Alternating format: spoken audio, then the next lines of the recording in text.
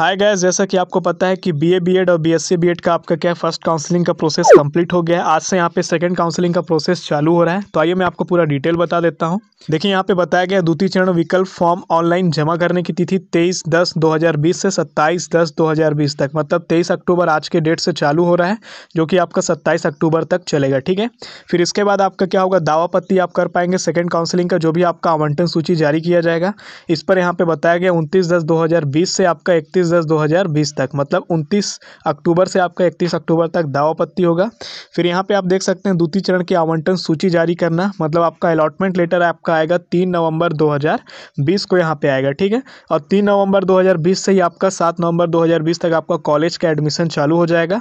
उसके बाद जितना एडमिशन होता है, उसके बाद जो सीटें खाली रहती हैं तो यहाँ पे नौ नवंबर दो हज़ार बीस को बाकी सीटों की जानकारी दिया जाएगा। अभी हम बात करते हैं फ़र्स्ट काउंसलिंग के बाद कितने यहाँ पे सीटें रिक्त हैं तो आप यहाँ पे देख सकते हैं, यहाँ पे कोर्स का नाम यहाँ पे यहाँ पे पहले कितना सीट था, अब यहाँ पे आप कितना सीट यहाँ पे बताया गया है। तो यहाँ पे आप देख सकते हैं संदीप पानी अकेडमी का आपका जो लिखा हुआ है बीए कोर्स के लिए आपका बीए बीएड के लिए तो इसका पचास सीट था अब यहाँ पे तिरालीस वीकेंड सीट का यहाँ पे संख्या है तिरालीस ठीक है इसी तरह अगर आप बात करेंगे संदीप पानी अकेडमी में ही बीएससी कोर्स के लिए मतलब बीएससी बीएड के लिए यहाँ पे भी पचास सीट था इनिशियल अब यहाँ पे कितना है उनचालीस सीट यहाँ पे थर्टी नाइन यहाँ पे आप देख सकते हैं अब अगर बात करें तो सैल देवी महाविद्यालय ये आपका दुर्ग वाला यहाँ पे आपका बी एस के लिए पचास सीट था अब यहाँ पे आप देख सकते हो वेकेंट सीट की संख्या यहाँ पे इकतालीस है।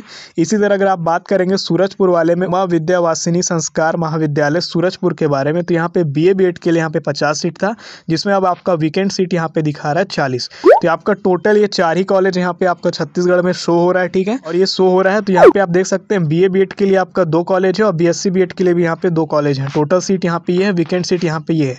तो आप इसको कैसे डाउनलोड कर सकते हैं? सिंपली आपको क्या करना है? सर्च करना है एससीआरटी रायपुर जब आप इसको सर्च करेंगे तो कुछ इस तरह से पेज ओपन होगा। यहाँ पे आपका वेबसाइट लिखा है इसी को आपको क्लिक करना होगा।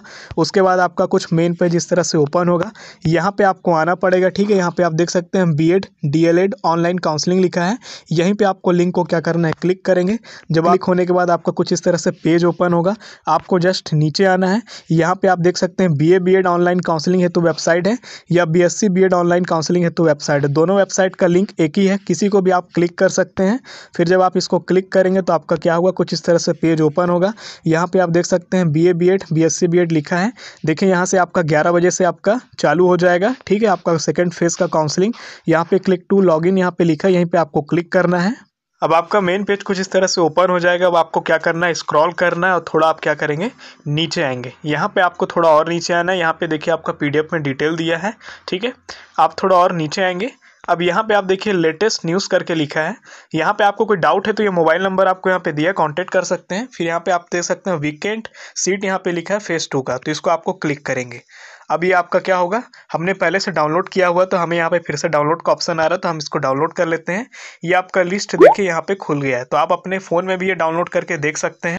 अब बात करें मोबाइल से काउंसलिंग आपको कैसे फॉर्म भरना है तो मैंने यहाँ पे लास्ट वीडियो में आपको बताया था, ठीक है? सेम वही प्रोसेस रहेगा, यहाँ पे कोई नया प्रोसेस नहीं है।